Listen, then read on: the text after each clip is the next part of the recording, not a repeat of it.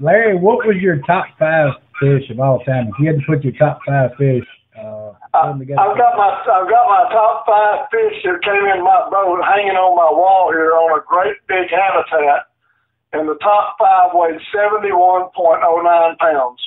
Seventy one point oh nine pounds for five fish. Right, right. And that that fish that you caught and fish that you, that people you were guiding caught. Top Uh, all of them, all of them were my fish except one.